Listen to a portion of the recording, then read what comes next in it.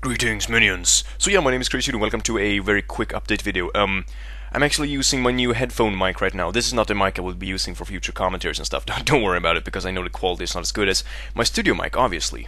Yeah, there we go. But, um, I'm just using it now because I don't feel like setting up my entire sound deal thing for a three-minute video that I will probably take out, take down in a few days anyways. So yeah, um, first thing, I will be try I will try to get some Christmas specials up for you guys, um, possibly some kind of giveaway.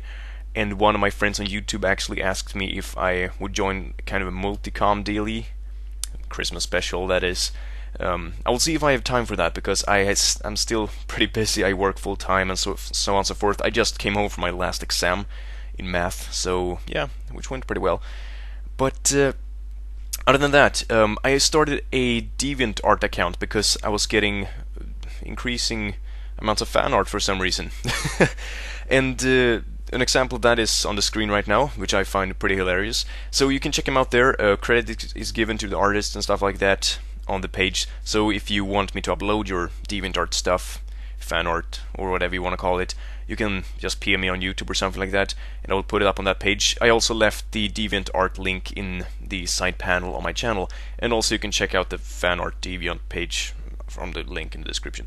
So yeah, uh, there we go. I will try, as I said, I will try to get some Christmas specials up. Still pretty busy at the moment. I'm sorry about that. Um, I have a lot of Christmas shopping to do, and you know, work that I have to work full time doesn't really help.